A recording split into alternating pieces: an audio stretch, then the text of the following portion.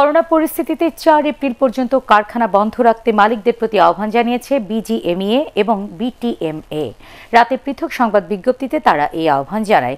BGME এর সভাপতি রুবানা হক ফোনবার্তায় জানান, দেশের দুর্যোগ মুহূর্তে সবার সুরক্ষা ও সুস্বাস্থ্যের জন্য প্রধানমন্ত্রীর নির্দেশনা মেনে শ্রমিকদের স্বার্থে এই পদক্ষেপ নেওয়ার আহ্বান জানানো হয়েছে। মহান স্বাধীনতা এবং জাতীয় দিবস উপলক্ষে মাননীয় প্রধানমন্ত্রী আমাদের সকলকে সুনির্দিষ্ট দিক নির্দেশনা দিয়েছেন। সবার সুরক্ষার এবং সুস্বাস্থ্যের জন্য কিছু সচেতনতামূলক পদক্ষেপ নিতে বলেছেন।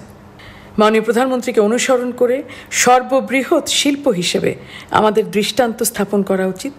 এমত অবস্থায় কারখানা বন্ধ দেওয়া বিবেচনা করবেন বলে আমরা আশা করি।